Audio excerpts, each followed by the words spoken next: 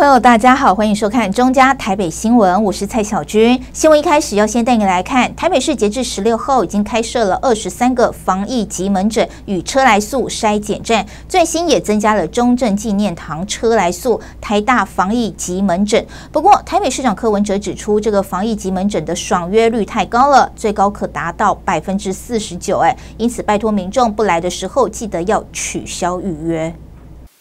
因为新冠肺炎百分之九十九都是轻症，台北市政府一直在扩建防疫急门诊，将轻症与其他症病患分开。近期也新增中正纪念堂车来素、台大防疫急门诊。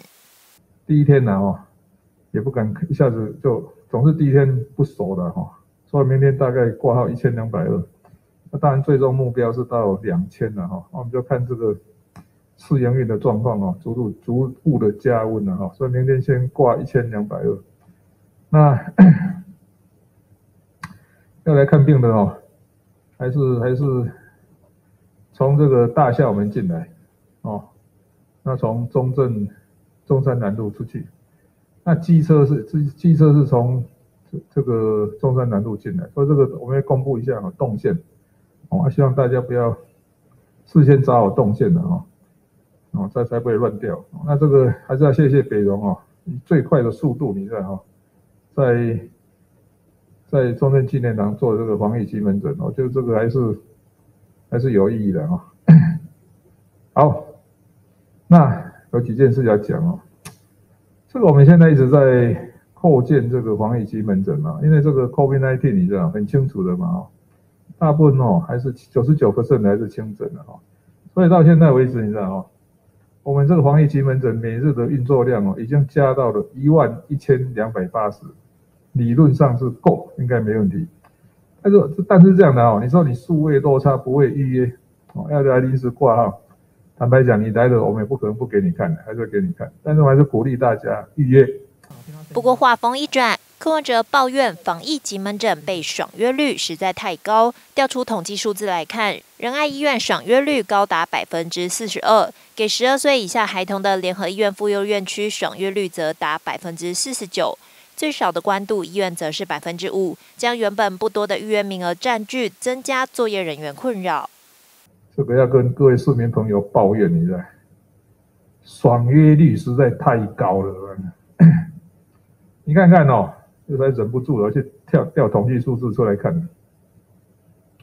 仁爱医院哦，你跟人家预约，结果四十 percent 的半昏觉。哦，最高的是哪一个人啊？妇幼医院，这本来这人数就不多的，你知道吗？哦，是专门给那个十二岁以下小朋友看的。结果预约哈，四十九 percent 的没有来。你想想看，那个那个本来预约名额就不多了，啊，你跟人家预约的，要要跟人家换鸽子，这实在是，哦。最少最少的灌度都还有五帕哦，这个我们市北科的车来数还有三十帕，我已经查过了，你知道吗？理论上我们这个预约，你知道吗？你不来是可以取消的。所以这几件事情要跟各位市民朋友呼吁，你知道吗？拜托你预约，但是更要拜托你不可以爽约哦。那你要是不来，不然拜托你把它、把它、把它、把它取消掉哦。哦，不可以放鸽子，而且我就看着要气死了，这个。这个最高到四十九 percent 的哈，最差的五 percent 的，平均看起来快要到三十 percent 的，这太过分了，对不对？所以这样的哦，一 开始是用拜托的，再再来我就真的要记下你这个身份证字号啊，这个这个不可以这样。所以要拜托各位市民朋友，这个资源相当宝贵哦，按我们希望说资源可以做有效的运用哦，它也给那个有需要的人用哦。啊，我们我们已经开到一万亿了，你知道吗？理论上应该。哦，你要来处理，应该快筛阳的，应该要来处理，应该都有可以处理哦。所以要拜托大家哈，不要第一个一定要预约，第二预约的哈，你真的不来，把它取消掉哦。千万不要预约又不来了，换鸽子哦，这让让造成大家很大的困扰啊。电脑系统也负担啊，我们要备人备料，要要不来，这实在是。目前台北市的筛检量能已达到每日可筛检一万一千两百八十人。理论上可以处理快筛阳的民众，但柯文哲拜托大家一定要预约，不来也要取消。重申资源很宝贵，要有效运用。记者问俊台北报道。台北市社区诊所居家照护服务，十二个行政区全面上线，每个里都会有配合的诊所医师协助确诊个案照护、远距诊疗及居家送药等服务，达到对个案的健康评估与关怀。台北市十二区社区诊所上线，每个里的确诊者由诊所联医各院区认养，提供确诊者个案健康评估、关怀咨询及远距医疗服务。目前针对有医疗服务需求的六十五岁以上长者，大安区最高有三十一家诊所参与服务。呃，我们之前已经成立了各区的行政关怀中行政区的关怀中心。那从今天开始，我们会启动全面由诊所来协助区关怀中心对于确诊个案的居家照护。那我们在五月十号，我们已经在北投、中山、万华跟文山四个区，跟一百，我们现在跟医师工会合作，然后试办说试办有关我们确诊个案，然后他有相关。健康评估、健康关怀、健康咨询，还有远距医疗服务。然后我们得得到这样的讯息之后，我们就会派案给配合的诊所。各位可以看到旁边这个附表，那每个行政区都有不同的诊所。那有些行政区它里面的诊所配合数量很少，但是我们都会把邻近区的呃诊所来一起媒合，也就是说每个里。只要是在台北市的每一个里，它都会有一个配合的诊所的医师来协助我们做确案的个案照确诊的个案的照护。那是泰安过去之后，目前总合作的数量有一百八十八家诊所。那我们已经开过很多次会，今天会全面上线。我们是采地段管理的方式，那全市各里分配给诊所，还有台北市联合医院各院区来认养。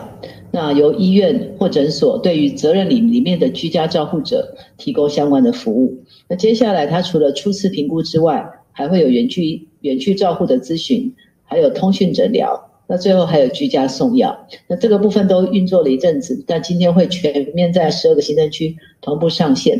那由各个诊所来协助我们的区关怀中心一起来照顾。呃，确诊的居家照护的民众，那我们每一个每个行政区都有相关的派工系统，也就是我们各里跟梅河的每呃责任诊所都已经做好配对，所以只要有需求的民众都可以跟我们关怀中心说，我们就会帮你转介到你需要的诊所去。同时，联合医院和平院区已转型为防疫专责医院，全院只收新冠肺炎的确诊病患，且要将防疫专责病床提升到两百床。伴随而来的人力需求，让原先的医护人力更加紧绷。台北市长柯文哲也预估本周是疫情洪峰，将招募五十名专责病房防疫天使投入第一线。记者问俊台北报道。为了改善交通拥塞的问题，台北市交通局推出了交通瓶颈改善计划，邀请民众提出具体的建议，经过专案小组评估可行性之后，就可以交由相关的单位执行，在最短的时间内完成各项交通瓶颈改善措施。而提出改善建议的民众，还可以获得最高五万元的奖金。台北市民在交通满意度调查中最重视、关心的交通问题，即是上下午交通尖峰塞车问题。因此，台北市交通局推出交通瓶颈改善计划，盼透过公司合作，以用路人视角改善台北市交通状况。那本次这个计划主要是要扩大这个公民的参与，哈，让这个用路人，因为他是实际的使用道路的人，他有一些呃，他实际每天的一些经验和。看这个建议，那直接透过他们的参与，可以呃公司合作来研究，来看看看有什么样的呃短期的问题，我们可以做一些调整。那另外一个重点就是说，呃，这个我们鼓励民众参与，所以我们这次也有所谓的奖金，希望民众能够提供好的点子，然后大家讨论完可以试做，然后呃动脑筋拿奖金啊，就是说民众他针对他知道的这些瓶颈路口，他有一些改善的构想，那这些构想他把它具体化、书面化以后。跟我们的交通大队这边啊，等于是交大是一个受理的窗口。那交大这边会初步去判断民众这个提案是不是具体的。哦，有些可能它是比较呃比较广度比较宽的那种，我们大概就会比较不需要再做一个处理了。那另外一个就是它如果很具体，就说这个路口我需要做什么样的一个调整，那交大这边也会是需要去跟他做讨论，跟这个提这个提案的民众做讨论，然后呢就会回到这个小组去做方案评估是不是可行。那如果说，哎，我们初步判断是可行，专案小组这边就直接跟民众啊，用一个会看的方式去去现场去确定这个方案如何的执行，改善方案的细节是什么。然后呢，机关就会直接去派工，例如说这个是交通处的部分，交通处就会直接去派工。那后续做完之后，就会去评估它的一个改善的绩效。那专小组会给他一个评分，这个评分就依照前面所提的，这个评分的分数的高低，就会跟他的奖金有关有关联哈。交通瓶颈的改善呢，其实都有一个机制在，机制在运作。就刚刚前面那个交交通流畅小组那部分，那我们这次比较不同的就是希望能够透过全民参与的方式哈，跟政府一起来合作，双管齐下，看是不是。能找到一些也许我们不知道的一些这个交通拥塞的一些地点或者是一些方式方改善方案，所以我们这不同就是全民参与的这部分把它加进来。平常本来就有民众在建议，那可能都是比较零星的一些哦建议，比如说哪里要禁止停车，哪里要要做什么单行道之类的。那我们这次是把它弄一个专案处理，是希望呃。而且有奖金了，所以我们是要要求的，就是要有一个呃书面的一个意见，要非常具体啊。那我们后面就有一些步骤嘛，会刊，那若可行，我们去做，做了有成效，我们会给他一个回馈，一个奖金。曾任交通大队长的市政顾问何国荣也分享多年前在小黄司机建议下改善北市交通瓶颈的成功案例。其实用路人里面。最了解的是计程车司机，啊，第二是我们一交，我们有的一交有的有的一交同时同一个路口，服务期十年都在同一路口同一时间，他当然了解这个问题所在。那但为什么这些问题都没有办法来来展现出来，让他能够有改善的效果？因为一般来讲，这些有意见的送到主管机关去，在值班单位那边。大概就处理掉了。第二个就是想处理，要按行政程序来处理，要花很长的时间。所以说他们没有去真正去协调沟通的管道，所以他很多好的想法就呈现不出来。盐山盐山隧道是台北市北区最大的交通瓶颈，大概堵塞了十年都没办法解决，因为上午从天母、士林进市区的车子跟大竹内湖。啊，北安路的车子在盐山隧道口交织，然后再分流，有的走新的比如高架桥，有的走双山北路平面道。他跟我建议什么？他说叫我把这个叫其实比如高架桥，这个叫滨江街下坡口。他要我说，班长，你上午就能把滨江街下坡口封掉，才能改善盐山隧道交通。这个违反常理，因为我毕业，我教我我警察那毕业就在盐山隧盐山隧道下面的交通队当分队长，我看着盐山这个交通已经看了几十年了，车子只要上了新车，别跟他抢，没没有一个下坡我会塞车的啊，不管说滨江也好，长春也好，长安也好，啊，金山也好，那都一路顺畅，你怎么叫我封这路我干什么？他。一语惊醒梦中人，他只跟我点破一点，我就懂了。我们每警察每天在那服勤，都没有人想到这个问题。他说，这个车流下来，它经过盐山隧道之后，进入新梅高架桥往南走，第一个下坡口就是滨江下坡口，因为它下来之后要左转，左转啊，左转之后滨江街之后建国南路南下有个路口，建国高架有个路口。他只要进入那个路口，哦，上建国路高架桥，他往东往南就一路顺畅。所以他宁可堵盐山隧道这段小时间，一段时间，其他路段它是畅行无阻。一个既然这一个小小案子，这么多警察，这么多公务员，每天在那边啊，看着他堵车堵了十年，都没有找出问题出来。就是你看，所以说。我们很多用户的，特别是他有很多想法，一已经是命中的了，就是这么简单，就是这么一个小小的建议，改善了盐山交通二十多年，做整个案子，我交通大概只花了六万四千块，就把整个案子推动成功了哈。然后我一公布原山改善措施之后，马上有一个计程车司又跑来办公室找我，他说：“来，大长，要解决水源高架道的塞车、知道水源入口问题，把这个，因为知道水源入口这个这个快速道下来之后，跟慢车道有个快慢分隔带，对不对？所以说跟分平面道的车流跟快速道的车流嘛，他就好说。”把打开一个车流车缺口，哦，让右转车提前进入平面道，那这两个车道都可以给左转车走了，这个路口就松了嘛，哦，交通就通了嘛。我们平面道多增加容量，啊，左转车也增加容量，所以说新建的车流向台北市水源就疏解了。这个措施到现在还在用，二十几年了还在用。没有这个措施，没有这个电视去提供这个意见，这个意见他一提出来，我我我就把我们的系统看一下。我认为对，很有效。当天晚上我就请我们养工处的拆除队，去个这个路口拆除打开，第二天就可以执行了。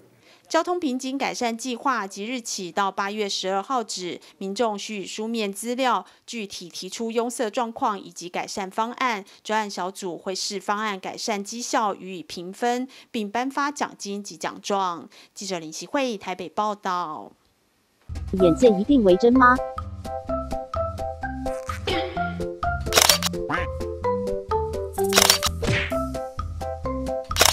我们换个角度来瞧瞧。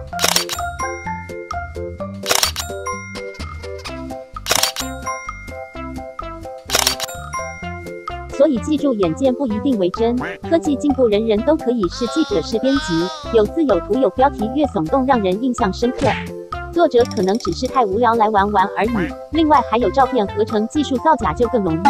还有现在很夯的 AI 技术，可以移花接木，不是他说的都会变成他说的。那该怎么办？教你简单小贴步：一、看到消息前先想一想，这会不会是假的？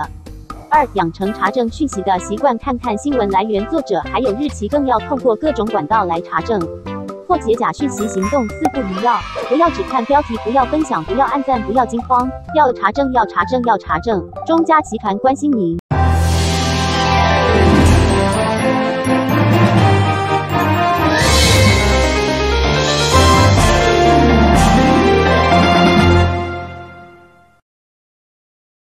台北市政府规划在芝山国小率先试办日照中心进入国小校园，但是家长担心这个学童如果碰撞到长者，恐怕会引发纠纷，而且为良好沟通就要签署行政契约，因此家长会到市府外抗议，并交陈情书给社会局，要求市府不能强行通过。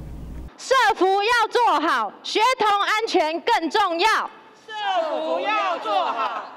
协同安全更重要。区隔做不到，就反对日照进学校。区隔做不到，反对日照进学校。高喊口号，芝山国小家长会长与家长代表来到市府门口抗议，市府要在芝山国小设立日照中心。家长担心学童碰撞到长者，恐引发纠纷，而且社会局为良好沟通，就要签署行政契约。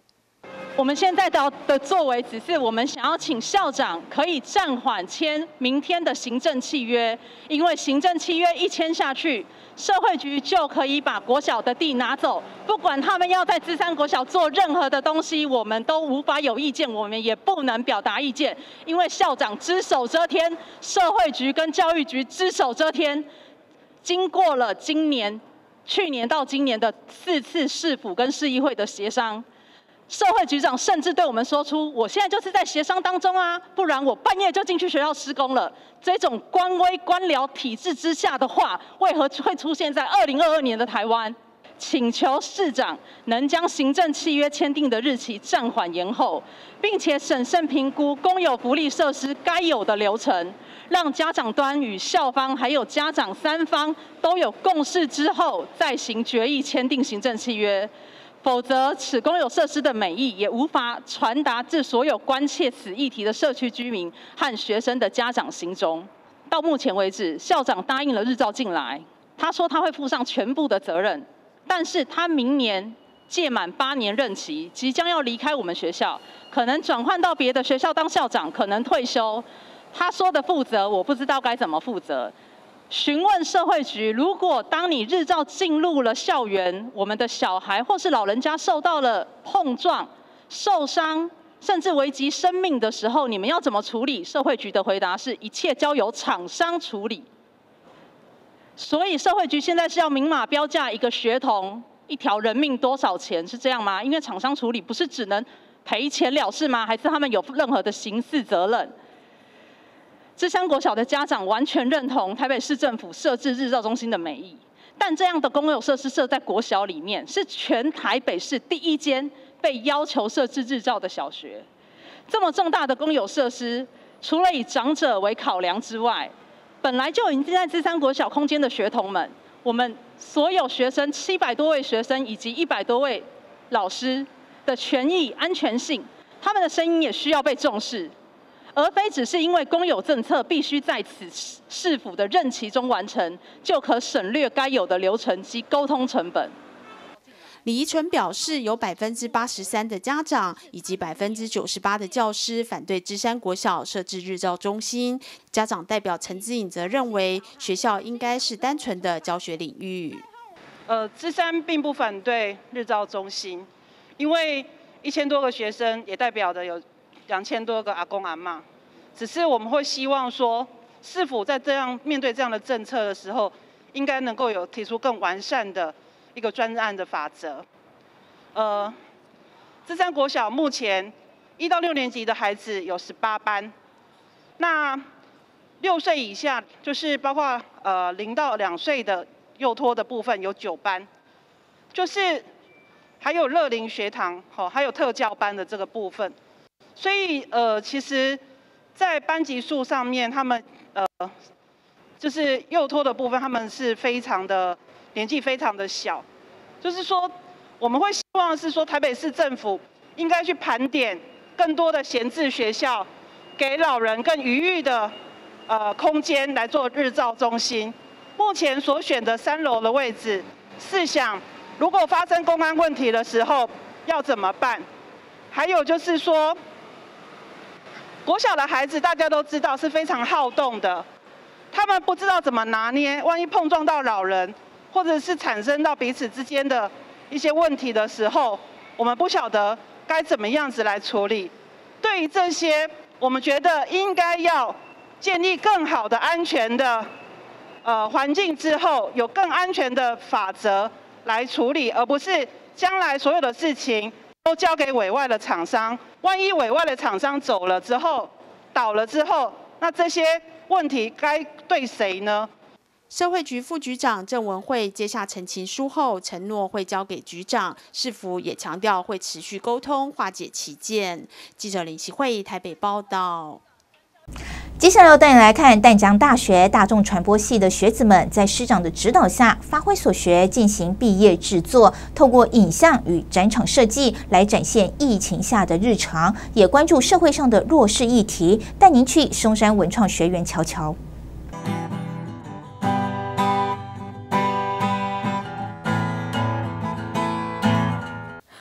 的影像创作，从事前的企划到拍摄、后置，都由学生自己来。今年的松山文创学园季联合毕业展，淡江大学大众传播系学子展现了丰沛的学习能量。透过影片与展场设计来呈现疫情下的日常，也探讨关注社会上的弱势议题。我们专题叫做岛屿终点，然后我们做的主题呢，主要是疫情下的城乡差距这样。然后我们以两个主题作为发想，主要是教育和医疗这块。像是在教育的，我们就看到远距教学的困境，就是哎，原本平常都是实体上课，然后突然大家都要开始使用线上设备去使用远距教学，然后我们就想要。想要知道说，哎，城市和偏乡之间对于这个远距的适应习惯是怎么样的？是如何？是如何去操作使用这样子？因为大家的概念就是说，经过了这样一个疫情的时代，哈，那我们怎么样在这个日常当中去协寻到一些更有意义的一些跟生活有关系的想法？所以我们基本上，我们淡江大船，我们大概就是分三组。然后我们有呃影音组，就是拍片子的，剧情片有两部，然后再过来有行销组哈，我们也有两组。那单半是针对产品方面的一个 promote，然后另外我们有一个叫专题组，我们有四部，就有关于议题的纪录片，然后去探讨主题。那所以我们这个其实整个所有的大系列里面都是在疫情底下。好，然后我们怎么样在这边夹缝当中，能够好像呼吸到一些新鲜的空气？虽然是这么平凡，但是从这个平凡当中，我们也可以找到非常多有趣、有价值的东西。我们主要使用的器材就是手持 HD，对，然后手持 HD，然后还有单眼，然后单眼大概会有两台，然后也会有侧拍、平面摄影这样子，对，然后当然就麦克风就 shotgun 啊、小蜜蜂啊这样子。在这边其实最缺乏的是缺乏一个可以带领他们的人，包含像我们这边的老师流动率其实是非常的高，然后包含像我们学校一半是正式老师，一半是代理教师。我们这里其实不缺乏物资，但是我觉得缺乏的是一个愿意来关心这一群偏向孩子们，就是偏向学生们的一个动力。他们像我自己三年前刚来到这边，他们也最常问我的就是我什么时候会离开这边。然后在医疗议题中，我们看到，因为最近疫情，医疗量能就很不，就是十分缺乏，然后呢不足，然后呢大家大众也渐渐开始重视远距医疗这块，还有社区医疗，我们就是在做，主要在做这部分。以前我有一个病人，他是在台东，但是他坚持到高雄来来就医哈，当他发生紧急状况的时候，那我们也是看着他一路跑到高雄来，但疫情会有些限制，啊那对病人来说他会不方便。那如果都有一些慢性病病人，他因为就医的不方便，对药物取得不到，或是遵从性不好的话，那疫情这段时间你就看出来说，哦，真的会比较差一点。我们有呃在台东，好或者是嘉义的长辈讲，他们要固定要去做回诊，那要么就要自己要来骑车，好，要么就是要请年轻人休假来开车载他去。那他们有时候来回一趟。就是有时候要等公车哈，那公车一搭可能两三个小时。偏向医疗，然后就是他是在讲说，就是在南回地区大概有呃二十多公里或者三十多公里以上，其实都是没有医院的。然后那时候我们就发想了这个议题。那如果以拍片的甘苦谈来说，它其实因为偏向医疗的话，可能就那边交通确实是很不方便。那我们用大学生的角度去那边拍片，其实可能会有很多交通上面的困难，确实是也深刻的体认到。然后再就是因为我们想要拍智慧医疗车，所以有一个跟车的画面。那跟车的画面其实呃我们没有太多很好的器材去把。就摄影机在车子上，所以我们就用一个比较阳春的方式，就是在车上，然后用手机，然后贴的很前面，然后尽可能去捕捉我们认为很好的画面，然后呈现给观众这样子。然后还有最后疫情带来的数位转型，因为我们发现，哎，怎么教育和医疗，然后都受到数位的影响，这样子，我们就是觉得说，哎，会不会数位这点其实可以成为减缓差距的一个重要的契机？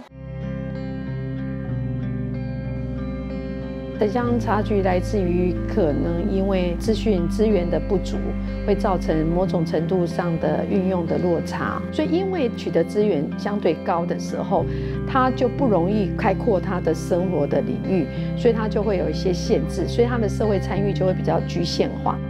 在台湾呢，我们做医疗，为什么会觉得要把远距这件事情放大？就是因为你真正走进偏乡，你就会发现到这些偏乡长辈事实上是很。很勇敢，而且是很很坚韧的。他即便他自己身体不舒服，他也知道他要忍住。那这个是我觉得偏乡跟呃都市地区最大的不同。对，那这也是为什么我们就会很想要把这些资源带给他们的原因。什么样最好用嘛？说实话，其实如果以流动画面来说，手机真的很方便，真的。但如果以收音来说，我觉得 HD 还是最好，它是最稳的收音状况。对，就是因为我们在拍摄受访者的时候，可能有一些受访者他的声音并不是很清楚。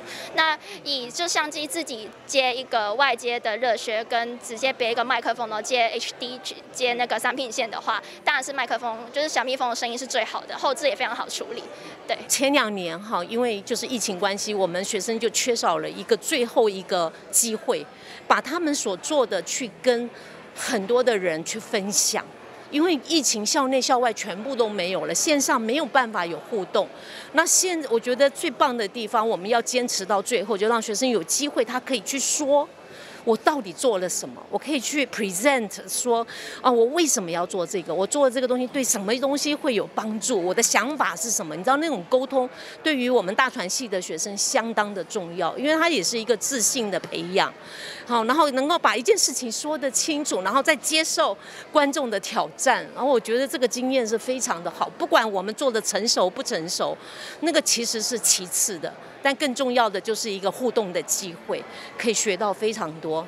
怎么分工有点复杂，我们因为总共有五支正片，所以基本上我们五支正片都有主要的导演。然后五支正片的话下去有两个主摄影，然后两个主摄影的话也会有好几个不同的后置的工作。对，所以我们的分工比较复杂一点，但基本上是每个人都会担任到访谈，也每个人都会担任到导演，然后也每个人呃每个人也都会担任到基本的剪辑。那后置啊可能会主要有几个人负责这样子。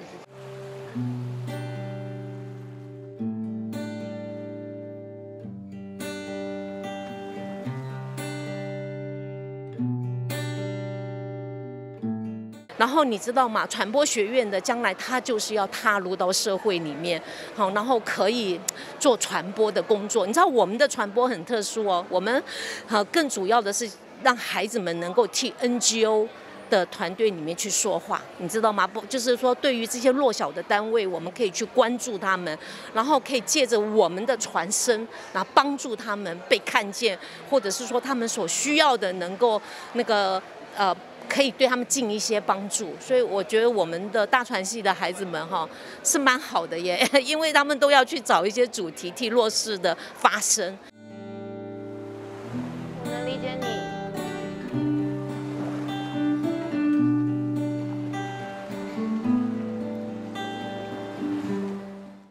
老师提到，就是可能像是我们的各组，可能像是因为我们的刚刚老师是影音组的指导老师，那我们影音组就是拍摄，今年两组拍摄剧情片，那我们都会有跟呃基金会去合作，然后去推广，透过跟基金会合作去推广我们想要推广的议题，就是可能我们自己也是可以透过影片去传达我们的想法，但是有跟基金会合作，我们就可以得到最正确的资讯，然后呃可以做去做互相的交流这样子。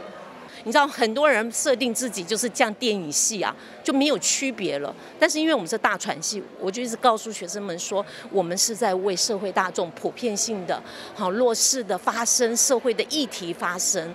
好，我觉得这个是我们很难能可贵的地方。一则新闻带您看到前几日发生在三重区的性侵案。我小时候很喜欢玩躲猫猫。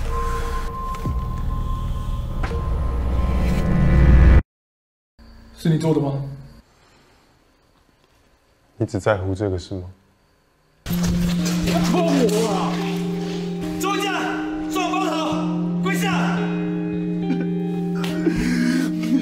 我只是想回到那小时候那样，为什么不放过我？拜托你听歌的话，躲起来，躲起来。躲去哪？像你小时候那样吗？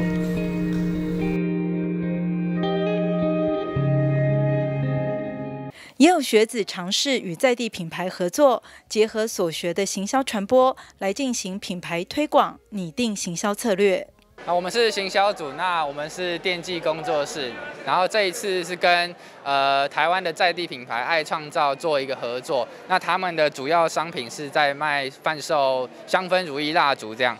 然后特色是，就是他们如意蜡烛烧完之后可以当做身体乳来使用。那我们这时候，我们这一次就是跟他们合作，希望他们希望可以在大学生族群里面可以提升他们的知名度，然后我们也希望可以从业界汲取所需的经验，这样子。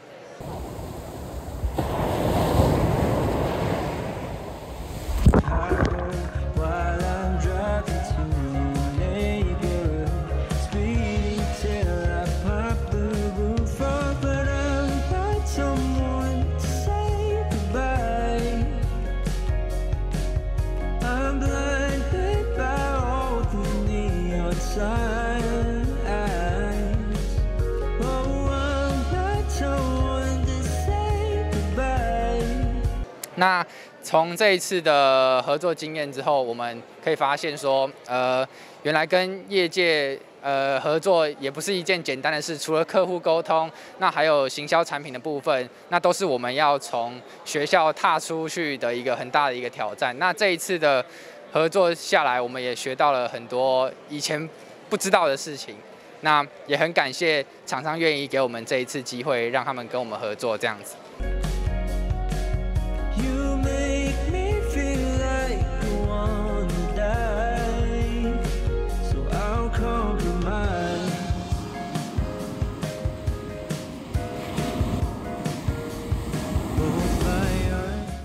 淡江大学大传系结合理论与实作教学，让学子尽情尝试挥洒自己，提供学生一条龙式的训练机会。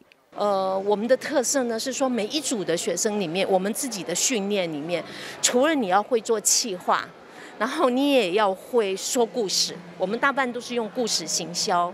不管你是卖产品，或是你讲剧情片，或者是纪录片，你都要学习把这个故事说得非常的清楚。最后每一组同学还要去做行销的部分，不管你是用这个网络的行销，或者你去办呃影片的放映会，实体的线上的都可以。所以一组的平均人数大概六到八位，什么都要做 还不打紧。最后我们还要做展场。每一组的展场，他们的视觉设计全部都是由老师专门在去做指导，所以我觉得我们的学生虽然刚刚有提到哈，我们没有分组哈，但是实际上我们是一条龙的训练，从头到尾很扎实的，到最后我们还要检讨，他们还会哈从这个过程当中哈来被很多的这样子的改进的一个空间。呃，就是首先老师讲到说，关于就是我们大传系有什么跟人家不一样的地方，就是。也就是我自己其实深刻感受到，就是我们除了大学四年来的课程，呃，有关行销的，有关传播理论的，然后也有关实际制作去拍摄纪录片的，然后到最后大学的第四年的毕制，我们有也是有分很多不同的组，有拍剧情片的，就是其实涵盖了非常广的层面，就是其实呃，因为现在我们大传系就是一个综合感综合的，虽然说我们每一个细节可能不会像其他的系这么的专精，但是因为我们所有都有了解，所以当我们到进到职场的话，可能就会是一个比较综合、可以纵观全面、可以一起做衡量评估的一个特质在。这是我觉得我们系比较特别的地方。对，关于这个展览的部分，就是因为其实我们之前我们大部分人是不会有一些策展经验，所以很多东西都只是在我们想象里面很模糊。所以当我们实际开始做起来的时候呢，就会发现要顾虑的面向真的非常的多。就是关于关于整个展场如何设计，然后呃，我们学到什么的话，就是。我们要如何的把自己想说的话实际的体现出来，然后要怎么表达，让人家知道，就是也应该是说一个大传系传播科系的最重要的点，就是我们要如何传达我们想说的话。对，就是这个呃办整个展览的过程，应该就是把这个东西去做实践，然后实际的把它体现出来。对，这是我觉得学到最大的点，就是我们要如何传达我们说的话，这样。呃，我个人觉得淡江大船的特质就是，嗯，我们的人同学就是每个真的都是非常的有想法。不管是大家是在自己擅长的领域，都非常的多元。比如说一开始大一进来的时候，可能有些人就会特别对拍拍摄电影会比较有兴趣。那有些人可能对于行销跟厂商合作这块，就是也也会非常有兴趣。那就是大家喜欢的点都不一样，然后他们都可以在他们擅长的领域去发挥他们自己学到的所有技能。所以我觉得，呃，进入淡江大船的同学，就是真的都是非常一群非常有想法，而且是未来也会有很好成就的人。对，什么样的学生最适合我们学我们学校？你知道吗？就是那一些有非常有想法的，好，也好也有一些批判性的。然后呢，他的兴趣非常的广泛，他可能从画画到手作，到他的嘴巴能够表现。那像这种的孩子哈，那可能他不太知道他可以去学什么的时候，来我们系上是最好，因为我们会帮助他把这个头脑。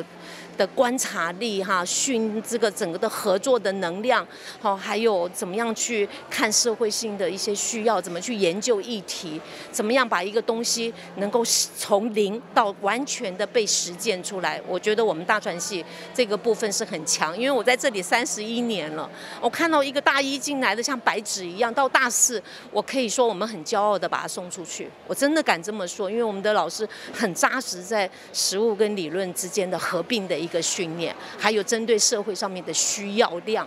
我们常常会有学长姐告诉我们，我们需要什么样的人才，需要什么样的人才，那我们就会尽可能就跟他们有有产业的产学的合作啊，或者是各方面的，然后能够帮助孩子们将来在社会上能够尽一些功用。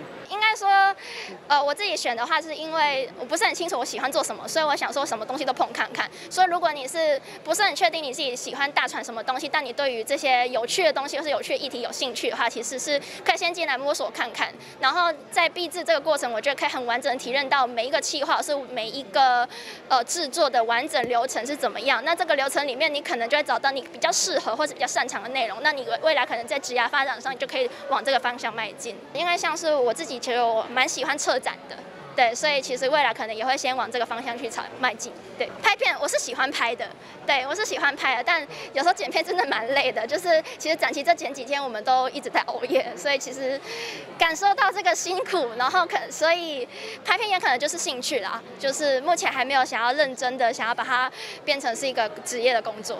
就是像他刚刚讲的，我们进来的人都是很，因为我们没有一个特殊的。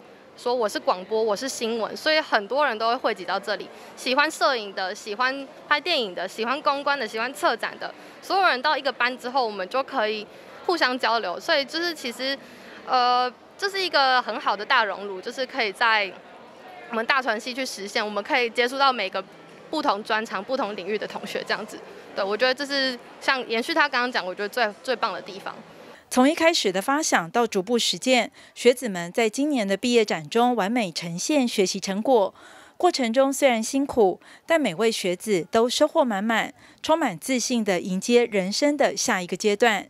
记者陈淑平台北报道。小小的土地公庙却香火旺盛，是什么原因呢？在地导览老师趣味解说线头福德祠地名典故，现在就跟我们来一趟城市走读。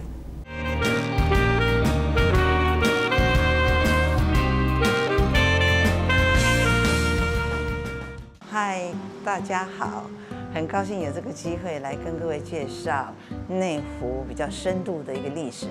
我是台北市文献馆的史记解说员，因为我本身住内湖三十八年，所以我觉得要住在你出生、工作或者是你生活的地方，你要去认识，那你才会对这片土地有感情。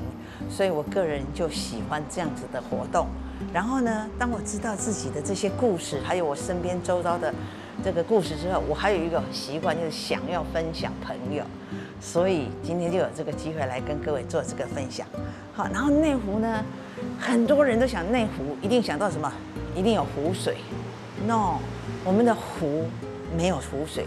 这个“哦”在台台语一些公款哈，就是一个凹陷，一个一个内方盆地的凹陷的地方。所以内湖就是指什么？内方盆地是按几哦几哦，就是等于一个一个窟窿一个窟窿，可是这个窟窿没有很大，好，所以内湖的意思是这样。可是内湖我们又可以从一条河、两个湖、山，那一二三的山，我们把它想成是山上的山。一条河，我们大家都知道，北部台湾非常重要的一条河叫做基隆河。两个湖呢？大家坐捷运一定有听过，一定有知道去那边玩大湖公园有没有？那这个湖以前旧地名叫做十四分湖，啊，十四分皮湖，哪一个份？就是呃我的本分的那个份，然后皮呢是耳朵边在一个调皮捣蛋的皮。那跟我们蓝色的呃板南线也有一个地名叫做什么？叫做后山皮，有没有？所以这个皮其实是什么？就是不管是人工的也好，天然的也好，它是一个蓄水池塘。因为以前农业时代，我们很需要什么？不要一天到晚老是看老天爷吃饭呐，所以自己可以储备水分，我们就不怕。干旱季节或者缺水的时候，没有水可以灌溉我们的农作物了哈。所以那个湖，我们讲一条基隆河，两个湖，一个在大湖公园，一个在哪里？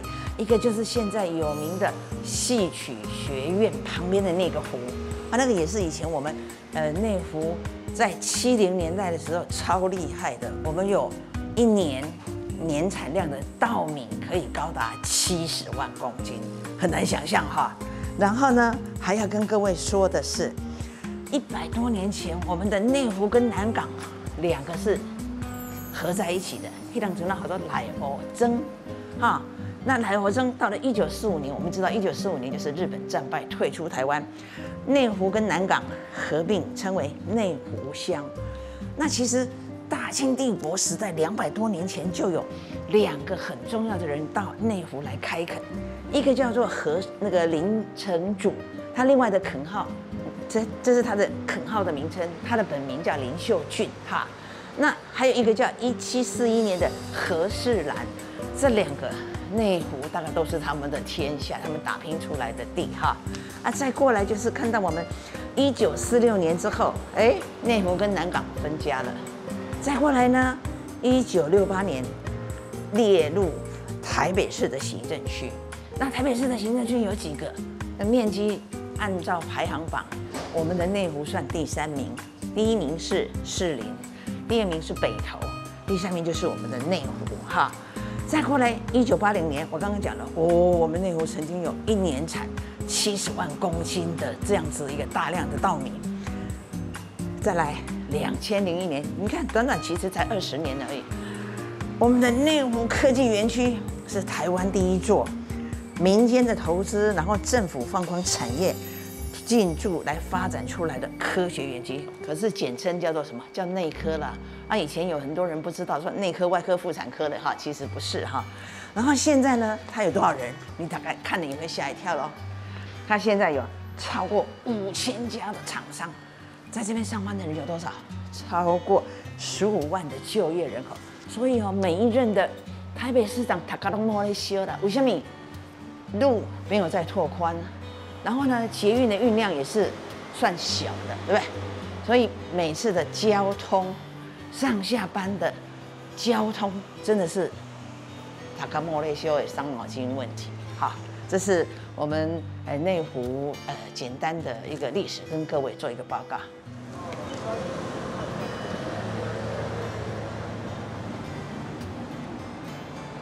哎老师，我们来到这个土地公庙啊，它真的是一个可以看到很多人都会经过都来参拜，然后它真的是香火蛮旺盛的。虽然是一间小小的庙，可是很多人呢。那请问老师，它这里到底有什么特殊的地方？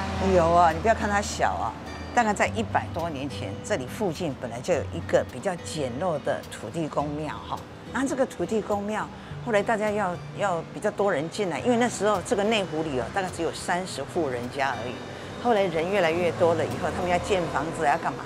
所以就把原来的小小土地公庙拆掉了。那拆掉了以后，我们的土地公要往哪里去寄放一下呢？就送到我们内湖有名的庙宇，叫做碧山岩。好，那一九三七年到一九四九年之间，我们的土地公就是送到那边去。然后这里呢？为什么它的一个名称特别特别叫做“剪头”？来，我们请看这个“剪”字哈，这个“剪”字一定很多人一开始的时候都念看得见的“见”哈。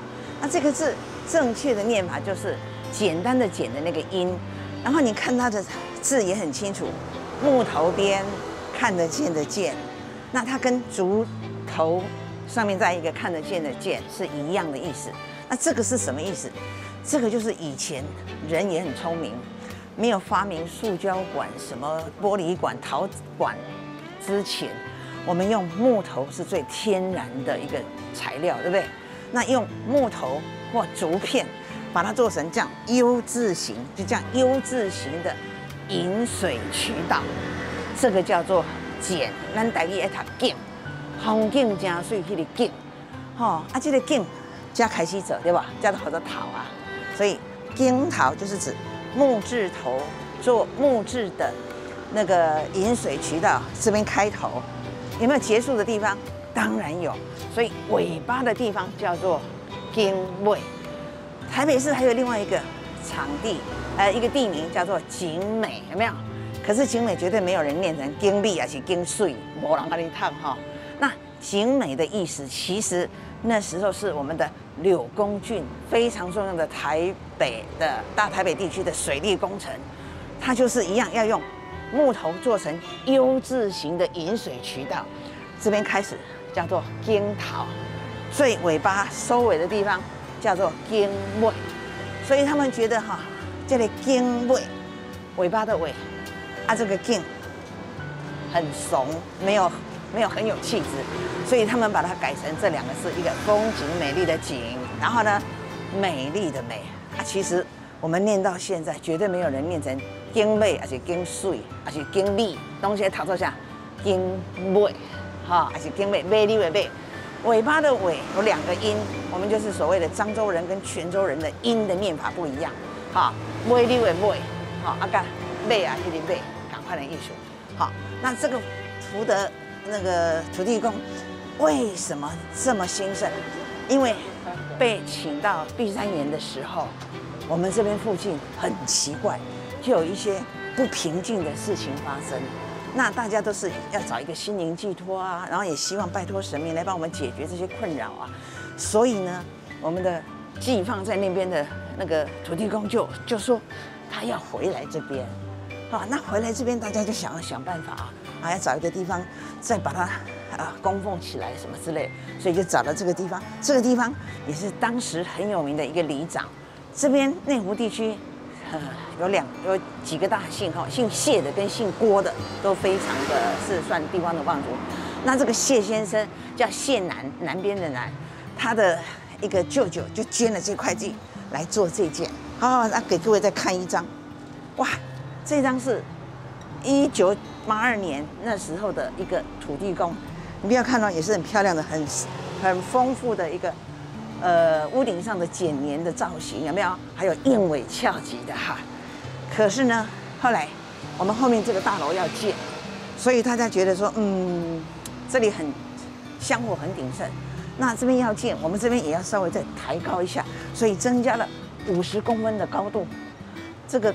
工程不要小看它，也要花了三百多万了，哈。那这边还有两个比较有趣的故事，是我们这里有名的一个活动叫做夜弄土地公，就是农历的正月十五号，好，那我们会做什么呢？我们会把土地公，以前是比较单纯，就是没有去绕街啊，没有出去这样子巡境，都是民众到这里来拜拜之后呢，就在这个附近弄一个。竹子，然后把一个炮台上面放有那个炮火，可是呢，要让民众再丢另外一个鞭炮去引燃上面铁盘上面那个鞭炮，然后它有做成一个城门的样子，所以很有趣。丢上去，你丢中了，它引燃了，你今年就会发了，所以有这样一个活动。那后来呢，太多人了，就把它想着说，好吧。来这边哦，挤得满地。我们干脆请神明跟着我们出去绕境。那你这样一去绕境，范围不就是更广、更宽吗？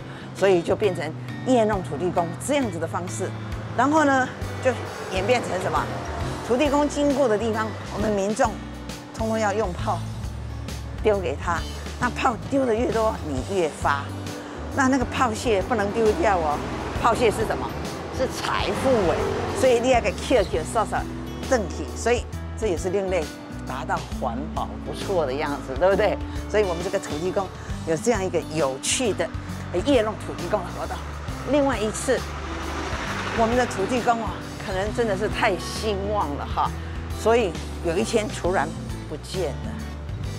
哎，有没有很担心啊？当然有哈，因为又距离我们又要再去请土地公。出境哎，不绕境出巡的时候，主要主角不在，怎么可以呢？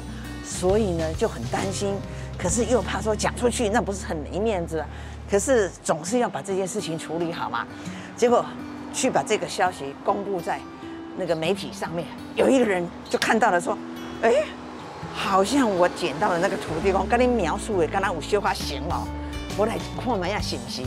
结果我们这个土地公可爱的又把他失而复得请回来，可是现在我们就比较辛苦了，要比较严格的把它做一个二十四小时的警卫系统的一个处理这样子哈。那所以这个土地公这两则可爱的故事。他好好的好好的人进去才一天半，现在出来是一具冰冷的遗体。哎呀，那那都都说跟你们一点关系都没有，那试问是跟我们家属有关系吗？家属向媒体投诉，患有慢性病的哥哥进了看守所，短短两天竟然没了命，质疑看守所人员有重大疏失。本来就是需要长期有人看看护照料的人啊。哎呀，你们所方遇到这种遇到这种受刑人。你是不可以收治的啊！你怎么会还会随随便便把人收进去嘞？对不对？而且没有做那个安全的评估啊！哎呀，那也不接受我们家属去投药啊！基隆一名四十六岁的李姓男子，去年因为窃盗案未执行被通缉，上周六五月十四日被基隆警方逮捕归案。由于周末无法交保，家属送药却被所方拒绝，原因是里面有医护。家属十六号办理交保时，却被告知已经送医。医院中午发出命为，下午四点多就宣告不治。阮内底吼，医生护士便便啦，啊，阮药也真济啊，啊你吼放心，放心啦。诶，啊，迄个阮内底袂用去收恁的物件啦，啊，我甲强调主讲，啊，人若万你种人安怎，我是要催你哦，你要负责哦。就讲免烦恼啦，阮内底医生护士便便。针对家属质疑，金融看守所做出了回应。有关本所前所容人李姓男子，哈，在五月十四号下午两点，因窃盗案，哈，被警方，哈，逮捕查缉，送入本所执行有期徒刑三个月。然后在五月十六号早上，哦，八点半左右，哦，李姓男子，哦，身体不适，经本所紧急送医院诊治。在这段时间，哦，家属也到地检署缴了罚金。那本所依照好地检所开的释票，好释放交给家人，但不幸的是，哦，该李然于哦四六时左右哦诊治不治哦，呃，那有关死因的疑虑的部分，家属也透过警方，好，那本所已配合好警方调查死因。看守所表示，一切依照规定办理，也会配合司法调查。立委蔡世应要求矫正署及基隆看守所的调查报告要在三周内完成。全案已经进入了司法，希望还给家属一个公道。记者黄少明基隆报道。以上就是今天的中嘉新闻，也欢迎您到中嘉新闻的脸书及 YouTube 按赞，就能及时获得最新的在地新闻。另外，我们也与 FM 轻松电台九六点九联合直播，欢迎准时收听。非常感谢您的收看，我是蔡小军，祝您一切平安，我们再会。